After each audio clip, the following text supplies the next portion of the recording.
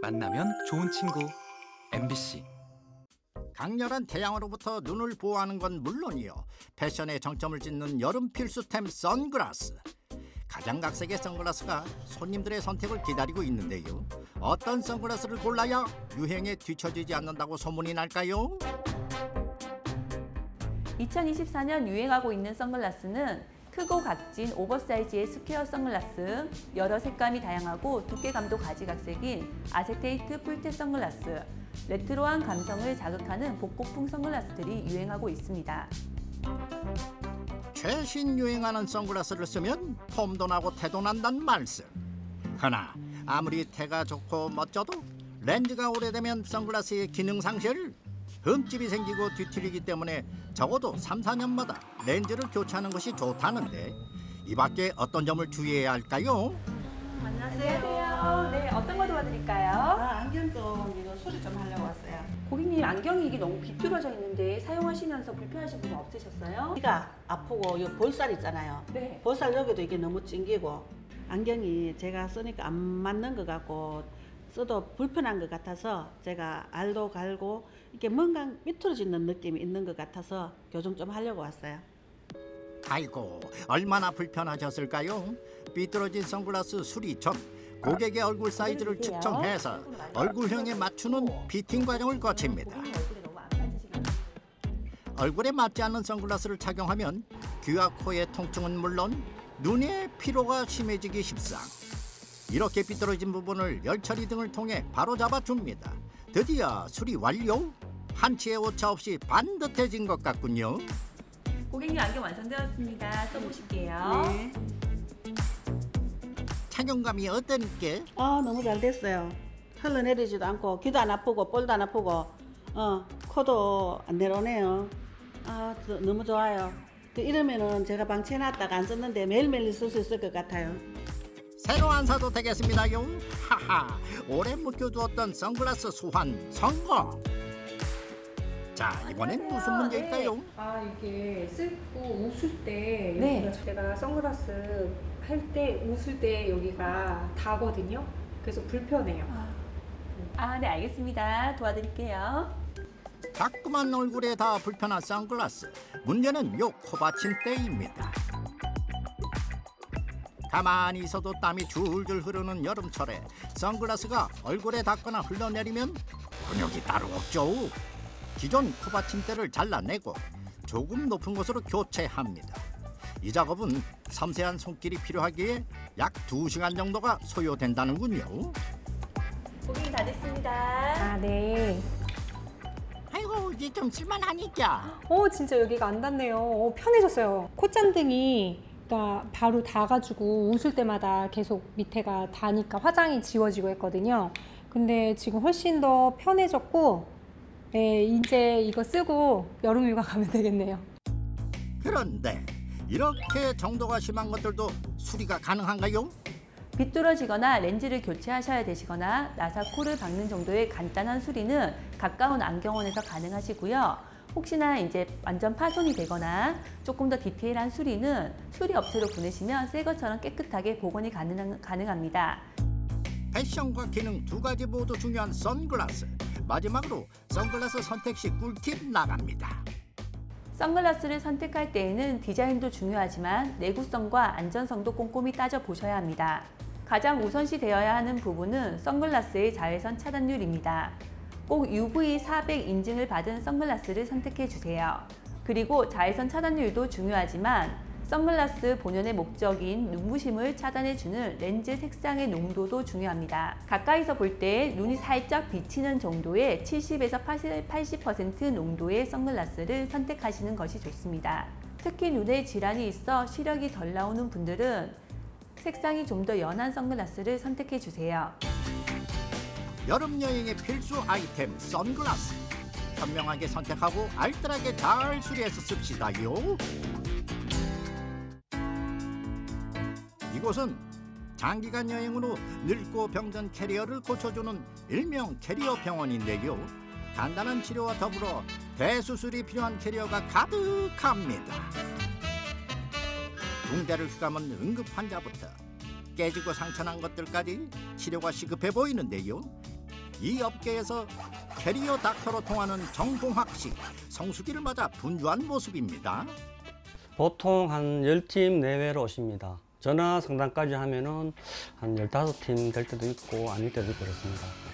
뭐 근교 김천이라든지 구미, 포항 이쪽으로는 오시고요. 전 다른 다른 지역은 거의 택배로도 가끔 종종 옵니다. 캐리어 닥터 정봉학 씨는 명품 가방과 구두 수선 20년 차 베테랑인데요. 6년 전부터 캐리어 수리를 겸하게 됐답니다. 어떤 이유일까요?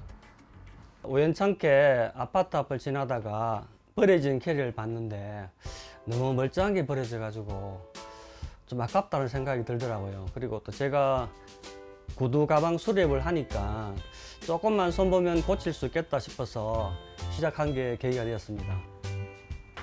안녕하세요. 예, 어떻게 오셨습니까? 예, 사장님 이거 손잡이가 뭐 예, 예, 요거 새 물건이 넘쳐나는 세상이지만 이렇게 수리 맡기는 이유가 있다네요. 옛날부터 많이 갖고 다닐 거고 익숙해가지고 물건도 좋고 그래서 서비스 해가지고 좀 갖고 다녔으면 싶었어. 새로 안 사시고 수리를 왜 맡기신 아 이유가 여기에 크기도 그렇고 마땅해가지고 내가 추억도 있고 해가지고 그냥 이걸 갖고 세계가 환경 문제가 지금 제일 그게 큰 문제인데 어, 고치 쓸 수 있으면 고치 써야죠. 수리 수리 캐리어 수리 어디까지 가능한지 그것이 알고 싶다. 보통 제일 많은 게 이제 바퀴, 뭐 손잡이, 지퍼, 잠금 이렇게 진행되고요. 바퀴 같은 경우에는 뭐 웬만하면은 부피도 많이 자리 차지하고 하니까 제가 바로바로 해드리는 경우가 많고 뭐 손잡이나 뭐 나머지 지퍼, 파손 이런 부분은 맡기고 하시는 부분이 대부분입니다.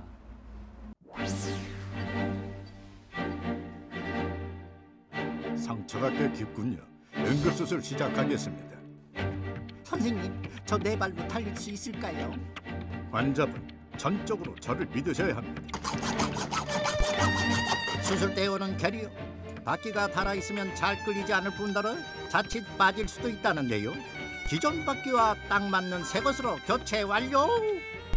처음 할 때 구속 구하기가 수월하지 않아 가지고 아파트 단지에 버려진 캐리어 특히 오래된 것 같은 게 부속이 없으니까 단지를 지나다가 버린 거 많이 주워 가지고 해체하면서 이식하면서 그렇게 많이 시작했어요. 지금은 그래도 뭐 인터넷 쪽으로 많이 수급이 원활해 가지고 예전보다는 좀 많이 편합니다. 여기 물류창고에서 배송 중 파손되는 제품인데 제가 거의 무상으로 가져다시피 해서 그 버리기에는 막가우니까 다그 바퀴나 부속은 제가 쓰고요. 이런 거는 제가 재활용해 가지고 요 버려지는 뭐 베개 같은 그런 거 하셔도 되고 이게 침대로 재활용 쓰시면은 환경에도 도움되고 아시는 분들한테 몇 분 나눠드려 봤는데 되게 좋아하시더라고요. 남다른 손재주와 환경을 생각하는 마음 덕에 버려진 캐리어가 이렇게 멋진 반려견 침대로 재탄생됐습니다. 강아지가 완전 꿀잠 하겠습니다요. 6년 동안 캐리어 수리를 하다 보니 꽃처럼 아름다운 사연도 많았다는데요. 마산에서 오신 분인데 저희가 우연찮게 마산에 가는 있어서 수리, 수리해서 갖다 드렸더니 그 수리비 외에 고속도로 톨게이트비 하시라고 추가로 주신 분 기억이 남고 또 이분은 진짜 기억이 남는 분인데 생전에 어머니가 들던 캐리였는데 제가 보기에도 엄청 낡아 있고 오래된 캐리였어요. 근데 어머님 추억에 도저히 못 버리겠다 그러시면서 들고 오셨더라고요. 사실 너무 오래된 캐리어라 가지고 고치기 힘들었었는데 억지로 억지로 고쳐서 뭐 줬는데 뭐 너무 고맙다 그러면서 울먹이면서 받아가신 기억이 나네요. 뭐 저도 엄마가 좀 일찍 돌아가신 편이라 가지고 저도 순간 같이 좀 울컥했습니다. 정봉학 씨는 단순히 캐리어를 수리 재활용하는 것이 아니라 그 속에 담긴 추억까지 복원하고 있습니다. 지금 뭐 정경적으로 지금 이상 기후도 있고 많이 안 좋잖아요, 그죠? 뭐 물론 뭐 새 거 사서 쓰는 것도 좋지만은 웬만하면 고쳐서 쓰면은 환경을 위해서 좋은 일이라고 생각하시고 뭐 버리지 말고 고쳐 썼으면 좋겠습니다. 즐겁고 건강한 여행의 필수품인 선글라스와 캐리어. 조금 망가졌다고 또 유행이 지났다고 버리지 말고 고쳐 써보는 건 어떨까요? 슬기로운 수리 생활로 알뜰한 여름 휴가 보내봅시다.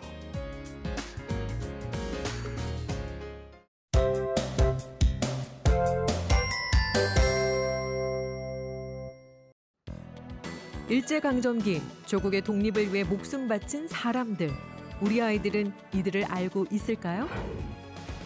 걱정 마시라. 즐겁게 놀다 보니 독립운동 역사가 머리에 술술 들어오는 역사 체험 캠프가 있습니다. 즐거우면서 가슴 뭉클한 현장 지금 만나보시죠.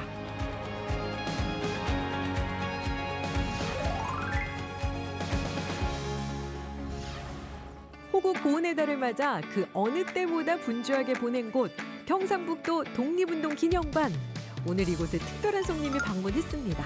장난기 가득한 표정하며 짐까지 챙겨 온 걸 보니 여기에 뭔가 특별한 일이 생겼나 봅니다. 책에서만 보던 그런 우리 조상들의 삶을 직접 체험을 통해서 배우고 그리고 조상들의 역사 정신을 바르게 계승함을 통해서 우리 아이들이 나라를 사랑하는 마음을 더 키우기 위해서 우리 안동교육지원청에서 준비한 교육 프로그램입니다. 영상이나 게임에 심취해 있던 아이들 역사를 배운다는 말에 실망할 법도 한데 표정만큼은 사뭇 진지해 보입니다. 하나, 우리는 서로를 아끼고 돕는 배려를 마음을 배운다. 하나, 한- 우리가 할 수 있는 나라 사랑을 길을 찾아본다. 이상 학생대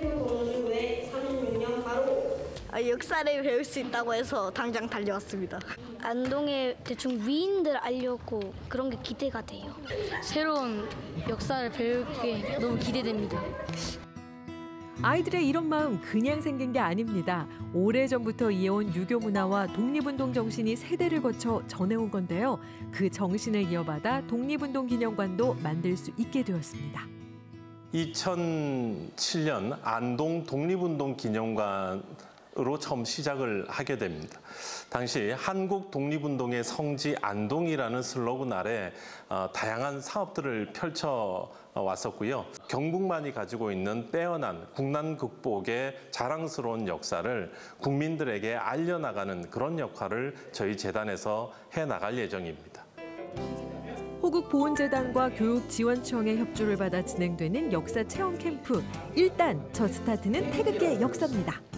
건강이 순서가 바뀌거나 태극 모양이 세로로 돼 있거나 혹은 물결이 더 심하게 젖어 있거나 이런 것들 모두 다 합쳐서 태극기라고 불렀습니다. 그래서 주변에 흔히 볼 수 있던 태극기도 역사의 흐름 속에서 우여곡절이 참 많았는데요. 덕분에 아이들은 새로운 걸 배워갑니다. 태극기가 이렇게 많은지는 몰랐어요. 이제 지금 모르는 거 옛날 것도 알 수 있어서 좋았습니다. 막 태극기 뭐 전에 무슨 무슨 뭐 태극기가 있다는 거 되게 신기했고 안동에 역사적 인물이 이렇게 많다는 것을 알아서 놀라웠어요. 역사 체험 캠프인데 수업만 들을 순 없는 법. 독립운동가의 활약을 귀로 듣고 그 긴박했던 현장을 직접 만들어 보는 시간도 가져봅니다.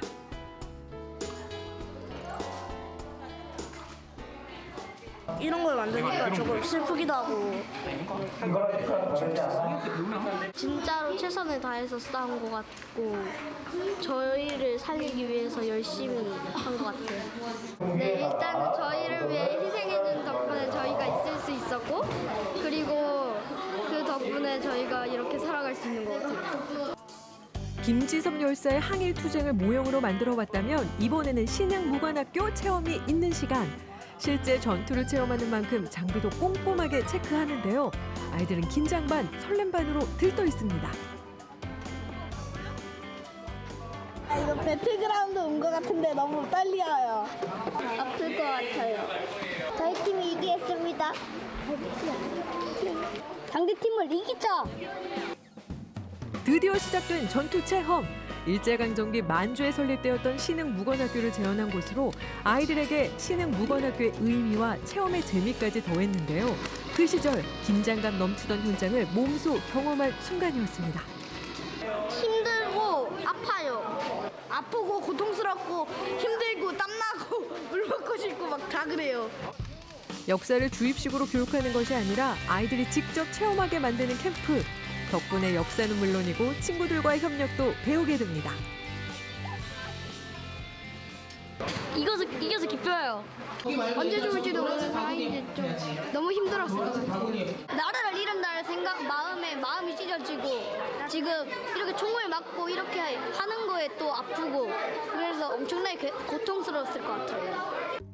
독립운동사의 한 축을 이루었던 청산리 전투 체험이 끝나고 즐거웠던 하루가 저물어 가고 있습니다. 하지만 캠프는 지금부터 시작!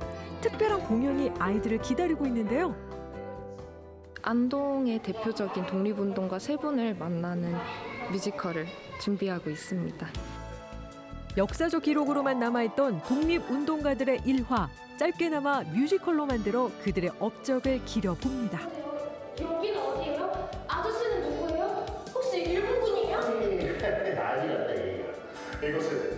시름부가 나타나는 곳이 아니라 일본군과의 독립전쟁을 준비 중인 곳이지. 그글톡에 새롭게 만나게 된 독립운동가들, 아이들의 마음은 더욱 뜨거워집니다. 친구들이 독립운동가들이 가지셨던 희생 정신과 그리고 나라 사랑 정신을 잊지 않고 그것을 본인들의 나라 사랑 정신으로까지 이어갔으면 좋겠다 하는 바람을 가지고 있습니다. 나라 하나를 위해 그렇게 목숨 바치신 분들을 위해 너무 감동스러워요. 실제로 기분까지 이렇게 나타낸 것 같아서 실감나고 좋았어요. 교훈을 많이 얻고 사람들이 이렇게 공연을 해주 공연을 해주셔 가지고 감사하고 이렇게 힘든 일이 있었다는 걸 알게 됐어요. 뜨거웠던 하루가 지나고 이튿날 캠프 마지막 일정은 안동 내암마을 투어. 안동의 독립운동 역사를 살펴볼 때 빠질 수 없는 곳입니다. 내안마을에는 일송 김동삼 선생을 비롯해서 백화 김대락 선생 등 독립운동 시기를 거치면서 수많은 독립운동가를 배출해 냈던 아, 마을이기도 합니다. 안동 사람들이 참여했다라는 그런 역사를 어, 배워나가는 골고루 배워나가는 그런 기회를 학생들이 아, 가지기를 바라면서 이 내안마을 답사 프로그램을 운영하고 있습니다. 생각보다 프로그램이 너무 좋아가지고 되게 독립의 중요성이랑 감명도 많이 깊었고 그래요. 너무 재밌었어요. 네, 오늘 엄청 재밌었고 그 역사에 관심 있었는데 더 알게 돼서 기분이 좋았어요. 나라를 위해 목숨 바친 이 모든 사람들을 위해 감사한다는 마음을 한 번 더 생각하게 됐어요. 시간이 갈수록 우리 독립운동 역사에 관심이 줄어드는 아이들. 더 늦기 전에 그 아이들을 위해 즐기면서 배울 수 있는 방법을 직접 보여주는 건 어떨까요?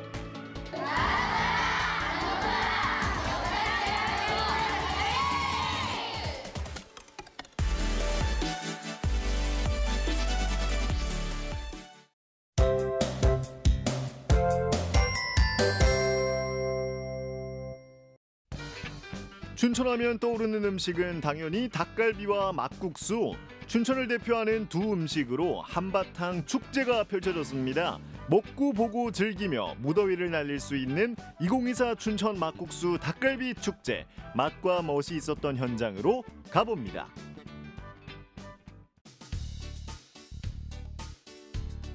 맛있는 냄새가 솔솔 풍겨오는 곳은 어딘가 했더니 바로 중도. 벌써 소문 듣고 찾아온 사람들로 북적입니다. 춘천 지역에서 운영하는 닭갈비 막국수 식당에 참여해 춘천의 맛을 선보였는데요. 시원한 막국수와 철판에서 지글거리는 닭갈비 축대장에서 먹으니까 더 맛있죠? 남편도 한쌈 해. 아.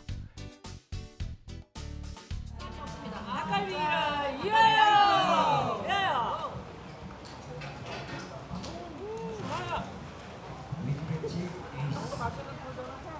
그렇게 맛있으세요? 제가 춘천에 살거든요. 근데 우리 동생들이 요 둘째는 인천, 전국 각지에서 언니의 부름을 받고 출동한 동생들이라는 말씀. 어디를 갈까 하다가 야 춘천에 닭갈비 축제를 하니까 우리 여기 와서 구경도 할 겸 허겁지겁 좋대 여기가. 그래서 오늘 여기를 또 모시고 왔죠. 축제 하는 데는 처음인데 와보니 너무너무 좋아요. 잘 온 것 같아요. 공기 좋고 뭐 물 좋고 여- 또 사람 인심 좋고 예, 맛 좋고 예, 도로도로 좋으네요. 춘천 닭갈비가 닭갈비가 진짜 짱이에요. 너무 맛있어요. 부드럽고 어, 부드럽고 담백하고 냄새도 안 나고 정말 맛있고 이번 축제는 지역을 넘어 글로벌 미식 축제로 만들기 위한 발판이 마련됐는데요. 중국, 베트남, 이탈리아, 프랑스 등 해외 자매결연 도시가 참여하는 국제관도 운영했습니다. 춘천에서 만나는 세계의 맛. 네, 춘천 막국수 닭갈비 축제를 지금 많은 분들이 찾아주고 계시는데요. 지금 춘천시에서는 총 12개 자매 우호 도시를 맺고 있고 그 이제 여러 국제 도시들의 문화를 소개하는 그런 공간으로 준비하고 있습니다. 어떤 좀 특이한 게 있을까요? 어, 지금 아무래도 문화라고 하면 이제 먹고 마시는 그런 문화가 제일 좋은 좋게 소개해 드릴 수 있을 것 같아요. 그래서 저희가 준비한 이제 중국과 베트남 그리고 프랑스, 이탈리아 음식들을 준비를 하고 있고요. 이제 오시면은 여러 가지 다양한 음식들을 체험해 보실 수 있습니다. 커피 맛집으로 선정되었는지 아실 겁니다. 케냐 커피를 마실 수 거예요. 있는 시음회 네. 현장. 커피를 좋아하는 분들이라면 다 아시는 커피일 텐데요. 전문가의 설명과 함께 맛보면 더 맛있다는 거. 우리 케냐의 커피 어떤 특색이 있는지 어떤 특유의 맛이 있는지 간단하게 좀 설명 좀 부탁을 드릴게요. 케냐 커피는 인산이 많이 함유된 커피로 산미가 굉장히 부드러워, 산미가 튀는데 굉장히 부드럽고 어, 초콜릿티한 바디감을 가지고 있고요. 굉장히 깔끔하게 어, 즐기실 수가 있고 토마토를 익힌 듯한 그런 산미가 있어요. 그래서 굉장히 기분이 좋고 감칠맛이 있는 커피입니다. 춘천을 대표하는 막국수 닭갈비처럼 세계 각국의 유명한 음식들을 맛볼 수 있는 기회가 있었는데요. 프랑스 요리사가 만든 정통 프랑스의 맛 이외에도 베트남과 이탈리아 등 해외 다섯 개 나라의 대표 음식도 선보였습니다. 세계로 뻗어나가는 춘천 막국수 닭갈비 축제. 우리 셰프님은 해외에서 오셨지만 어, 여기에 주된 재료는 또 우리 춘천시에서 나고 자란 그런 어, 특성품으로 요리가 되었습니다. 그 셰프분이 말씀하셨는데 이제 오리로 만든다고 하셨잖아요. 근데 이제 닭갈 닭갈비에 사용하는 뭐 닭가슴살 재료, 재료로 사용을 하셨는데 생각보다 맛도 있고 만약 팔시면은 맛있게 먹을 것 같아요. 이런 체험이 있- 더 있었으면은 좋을 것 같아요. 이- 특이한 음식을 저도 많이 좋아해가지고 즐기면은 좋을 것 같습니다. 어, 일단 올해 같은 경우는 좀 실험적으로 진행을 한 거고요. 앞으로 많은 분들이 또 호응을 해주시고 또 알아주시면은 계속해서 연결이 될 수 있을 것 같고요. 저희 닭이랑 메밀 이용해서 지금 요리 만들어 드리고 있어요. 그런 부분도 같이 체험해 주시면 좋을 것 같아요.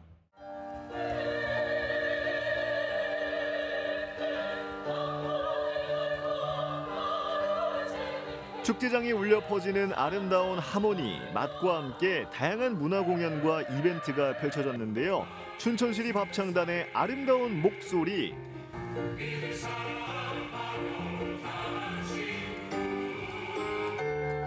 오늘은요 굉장히 특별한 날입니다. 오늘도 여러분들을 위해서 트로트 실버제가 여러분을 기다리고 있는데요. 요즘 많은 사람들이 즐겨 듣는 트로트 노래들 전국에서 예선을 거쳐 15분의 본선 무대가 펼쳐졌습니다.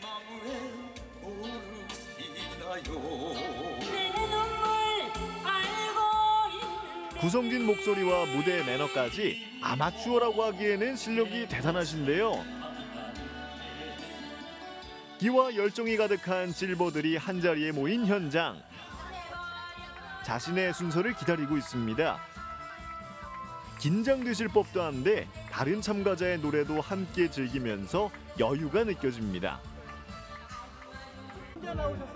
요렇게 둘이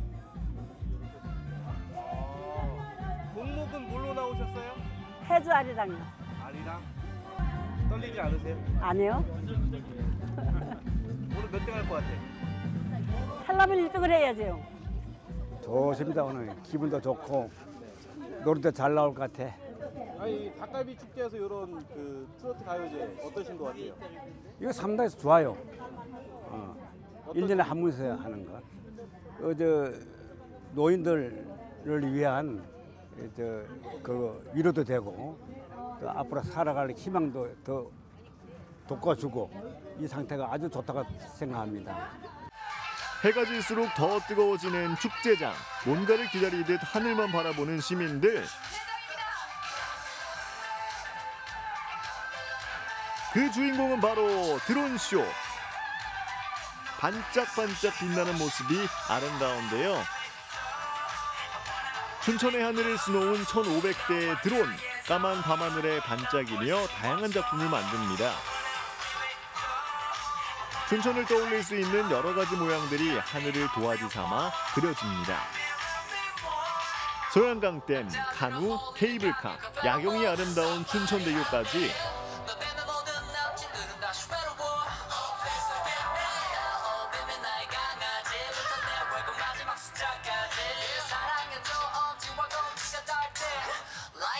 춘천 막국수 닭갈비 축제에서 잊지 못할 추억을 만들어 갑니다.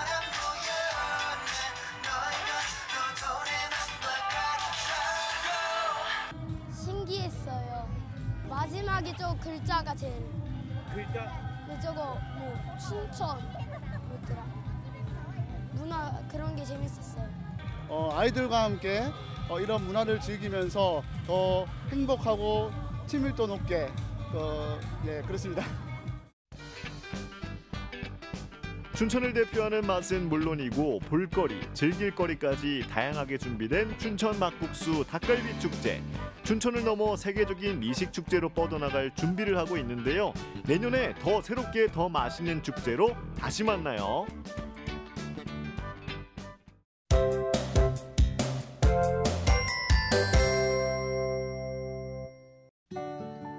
매일 새벽 분주하게 시작하는 생활이지만 그저 행복한 건 이것이 바로 꿈꾸던 삶이기 때문이겠죠. 제가 17년 전까지 서울에서 40여 년을 살았었는데 서울서 느끼지 못한 이 자연 환경 속에 정원 속에 사니까 매일마다 볼 때마다 저는 참 잘 되겠다. 나 정원을 꾸미고 시골 내려와서 이 정착한 게 정말 잘했다거나 한게 후회 한 점 없이 저는 행복하게 잘 하루하루를 잘 살고 있어요. 정원에서 살다 보니 이제는 아내도 꽃 전문가. 너무 예뻤고 제가 꽃을 이렇게 좋아할 줄 몰랐어요. 이제 여기 오면서 와서 이제 살면서 하나를 심고 너무 예쁘니까 또 하나 심고 너무 예쁘게 또 사다 심고 모든 나무 모든 꽃을 내가 삽목을 하고 있어요 지금. 부부를 행복 부자로 만들어준 정원. 지금 만나볼까요? 모든 생물이 싱그러움을 간직한 초여름. 고흥 대서면을 찾았습니다. 어딜 둘러봐도 감탄사 나오는 계절이니 정원은 또 얼마나 아름다울지 벌써 기대가 되는데요. 만 천여 평, 무려 축구장 다섯 개를 합친 규모. 이 거대하고도 멋진 정원을 꾸민 이는 바로 송동하 씨입니다. 분주했던 도시에서의 생활을 정리하고 어릴 적 고향으로 돌아왔지만 성실하고 근면했던 생활 습관은 여전한데요. 정원 곳곳 그의 손길이 닿지 않은 곳이 없습니다. 네, 제가 2006년 또 2007년부터 개발을 할 때는 실제로 제가 소나무 정원수 농장 농장으로 제가 이렇게 처음에 시작을 했었는데 한 7, 8년 이렇게 나무를 키우고 10여 년 키우고 나무가 크고 아름다워지고 또 정원 문화 사업이 너무 요즘 화- 정말 활성화되고 이게 농장보다는 앞으로 이 정원을 정말 꾸며야 되고 가꿔야 되겠다라고 생각을 하고 그냥 자연스럽게 한 5, 6년 전부터 정원이 자연스럽게 이렇게 이루어진 것 같아요. 조경업을 하던 그가 나만의 정원을 꿈꾼 건 어찌 보면 당연한 일이었습니다. 어떤 시련에도 푸르렀던 소나무에서 얻은 위안을 사람들과 함께 나누고 싶었지요. 그런데 그가 유독 소나무를 사랑하는 데에는 이유가 또 있는데요.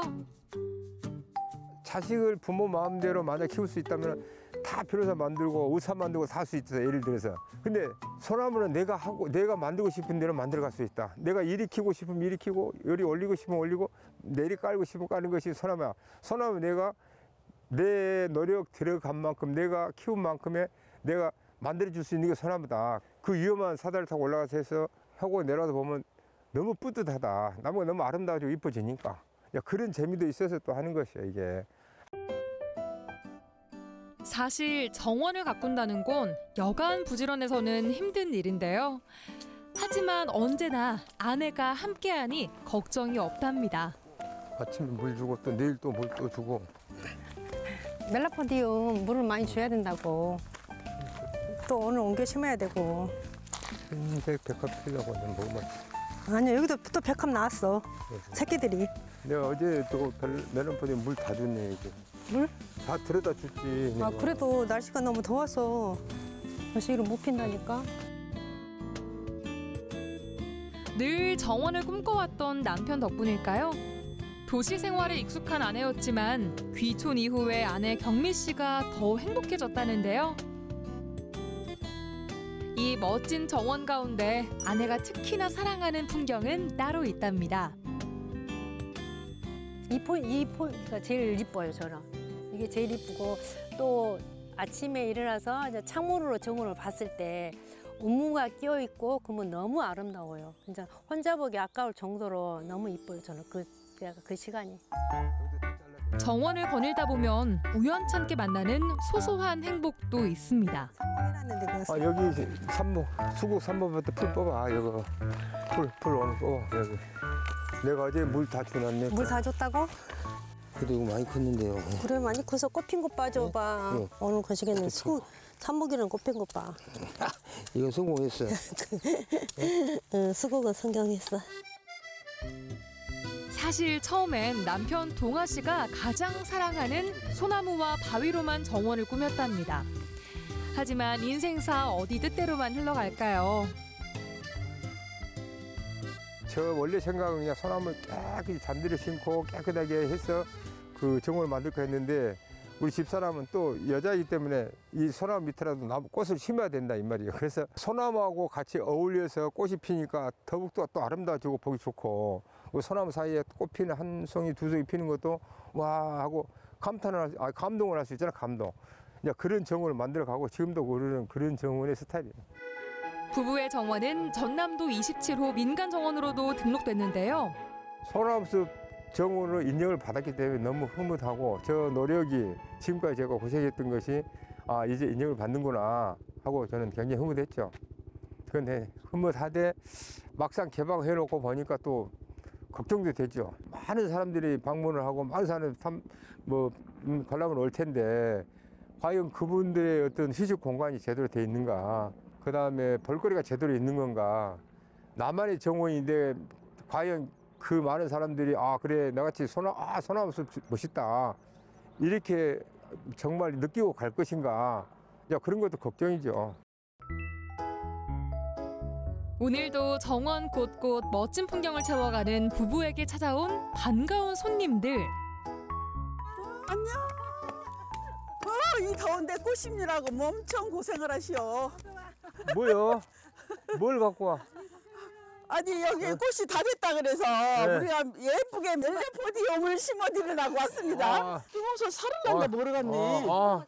이거 한 촉씩 여기다가 이렇게 드문드문 심으세요. 아, 이 동네가 완전히 노란 꽃으로 물들게 생겼어. 아름다운 자연에서 좋은 친구들과 함께하니 웃음이 끊이질 않는데요. 그런데 너무나 익숙하게 정원을 돌보는 사람들 하루 이틀 해본 솜씨가 아닙니다. 이웃이니까 이제 우리도 좋고 그러니까 우리도 둘러보러 와가지고 이렇게 꽃이 있으니까 너무 아름답고 좋으니까 에, 와서 이제 예쁜 거 있으면 서로 공유하면서 어, 여기, 여기 와서 예쁜 게 있으면 우리 집에도 가지고 가고 우리 집에 예쁜 꽃이 있으면 여주도 갖고 뽑아서 심고 서로 이렇게 공유하면서 에, 이게 좋은 것 같아요.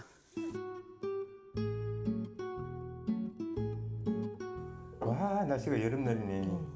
완전히 포기. 이거 낮에는 뭐 못하겠어. 그래서 근데 또 당신이 꽃을 좋아하니까 심다 보니까 이게 괜히 범위가 넓어졌고 돌을 어떻게 활용할 줄도 몰랐는데 살다 보니까 조금씩 조금씩 이제 이쪽으로 하면 어떨까 저쪽으로 돌을 옮기면 어떨까 돌 라인을 만들면 어떤 모양이 될까 이러면서 하니까 보람도 있고 더 예뻐지고 내가 느끼는 아 이렇게 하는 거 너무 예쁘네 이런 생각도 들고 그리고 그렇게 해놓으니까 좋지? 음, 너무 이뻐. 근데 이것을 이 공간을 만들어 놓으면 또저 저 공간은 또 뭘 할까, 뭘 심을까 그 생각이 먼저 드니까. 정원을 만들자 부부에게 찾아온 가장 행복한 변화는 삶 속에서 여유를 찾기 시작했단 건데요. 도시에서는 꿈꾸지 못했던 차 한 잔의 여유. 부부에게는 지금 이 순간이 더할 나위 없는 행복입니다.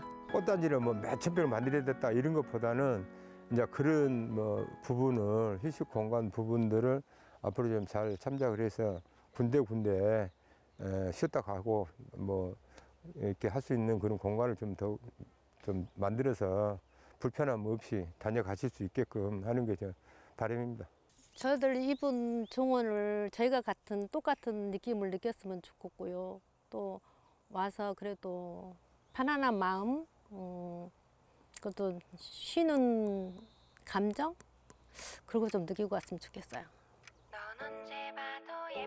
나만의 정원을 가꾸며 자연이 주는 소소한 행복을 채워가는 순간이 부부가 늘 꿈꾸던 삶의 조각인데요. 정원에서 느낀 이 행복을 많은 사람들과 나누고 싶은 바람이 담긴 부부의 정원. 내일은 또 어떤 행복으로 채워질까요?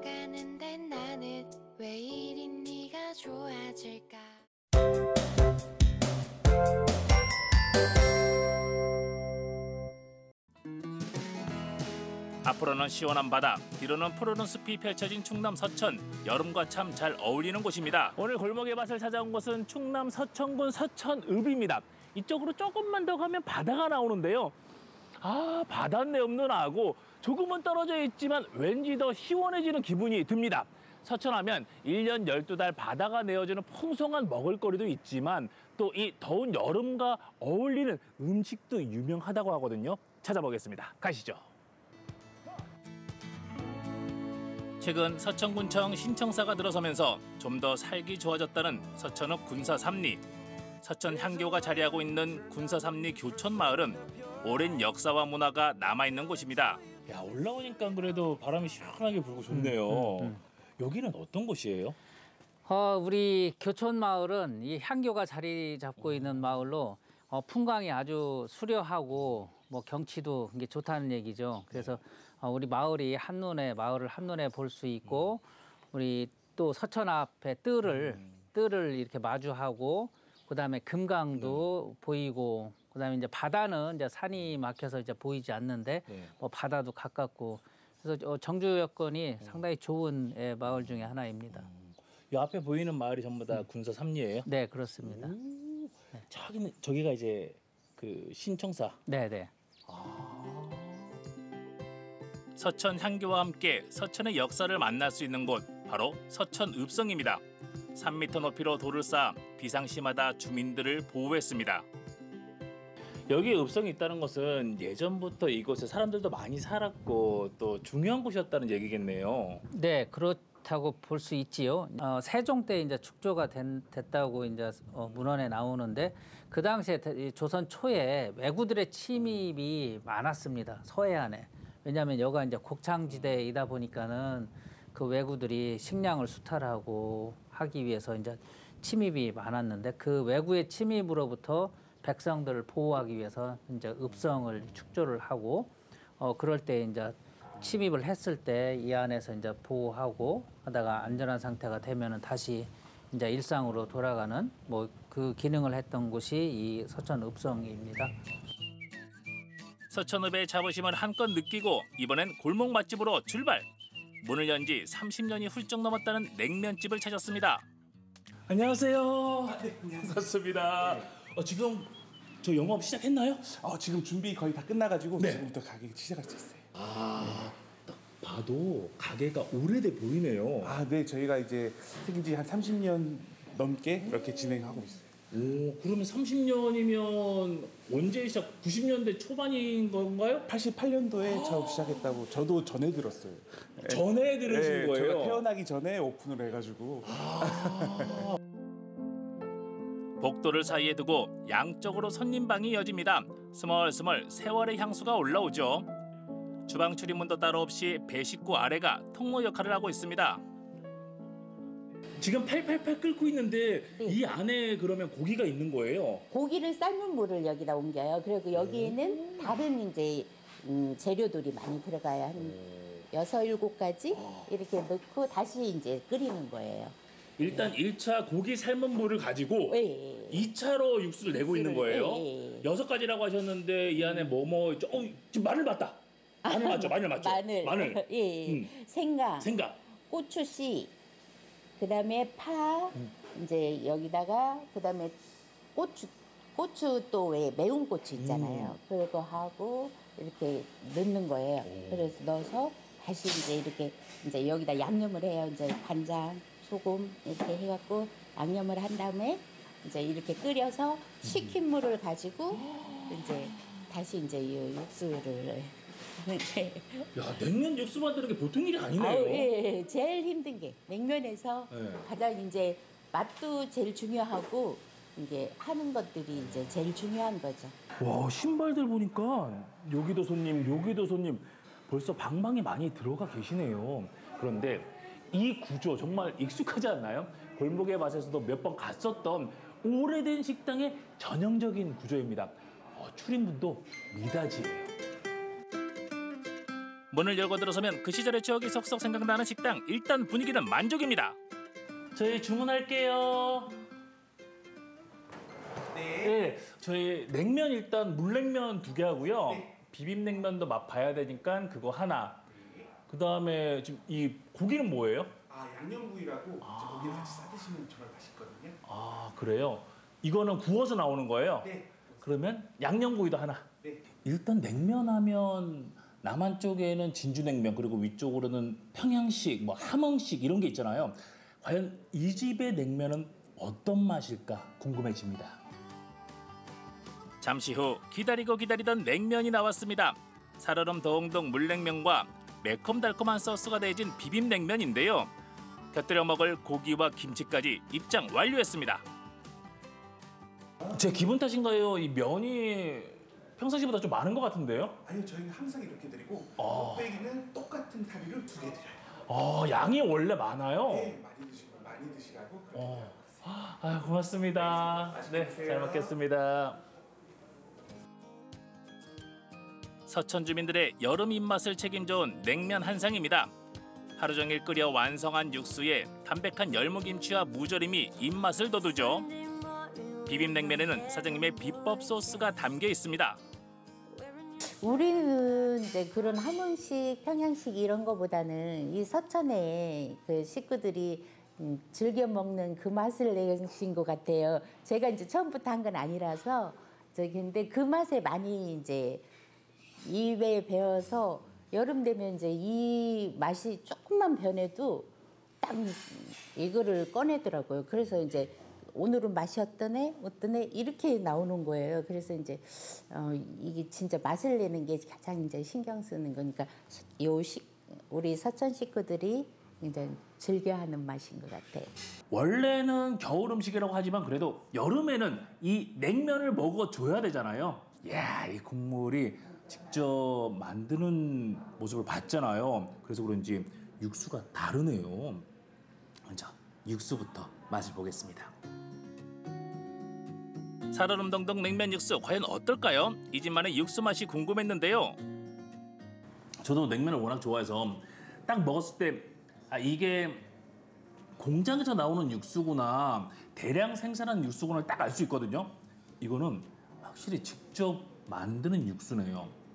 아, 이 깊은 맛도 있고 아, 그리고 매콤한 맛이 살짝 있어요. 사장님의 넉넉한 인심이 더해진 냉면 사리 이렇게나 푸짐한데 부족하면 더 추가해 주신다고 하네요. 야, 면도 종류가 많은데 뭐 칡도 있고 메밀도 있고 고구마도 있고 밀면도 있고 메밀면 쓰는 이유가 있겠죠? 저희 집에서 쓰는 면은 이제 메밀 냉면으로 해가지고 그 맛을 내고 있어요. 냉면에도 삶는 게 가장 중요해요. 그게 이제 조금 넘어버리면 흩어져 버리고 이러니까 그 맛있게 삶아서 그 시원하게 만들어 다음에 육수를 넣으면 맛있는 냉면이 되죠.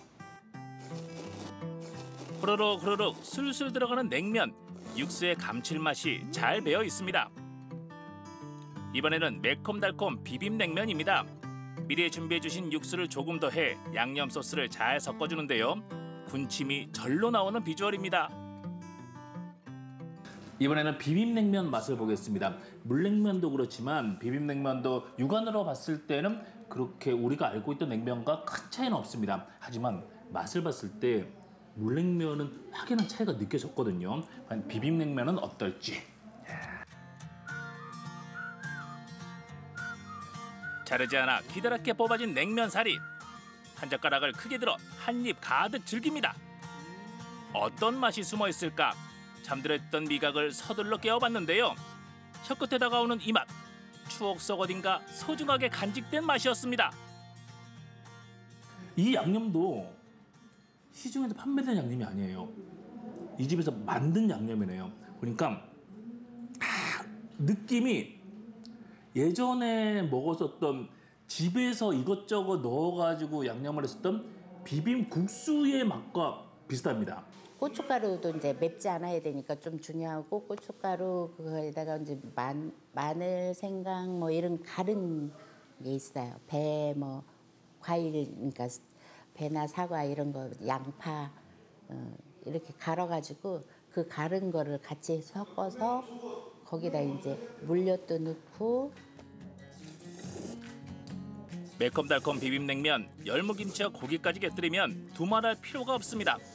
간도 충분하고 양도 푸짐해 어느 것 하나 부족함이 없는데요. 시원하고 넉넉한 냉면 덕분에 서천의 여름나기는 오케이네요. 오늘 골목에 마셔서는 여름철 별미 냉면을 만나봤습니다. 누구나 알고 있는 맛이지만 이 집에서는 육수도 그렇고 양념도 직접 만들기 때문에 특별함을 가지고 있고요. 그러면서도 남녀노소 누구나 좋아할 수 있는 맛을 표현해 냈습니다. 여러분도 서천 오시면 꼭 한번 들려보세요. 오랜 역사와 전통이 고스란히 남아있는 서천읍. 옛 모습 그대로 이어온 골목 맛집이 있습니다. 동네 사람들의 여름을 책임져온 서천 냉면. 하루 종일 끓여낸 진한 육수 한 사발에 푸근한 인심까지 더해 더욱 진한 맛을 자랑하는데요. 시원한 서천 냉면과 함께 건강한 여름 보내세요.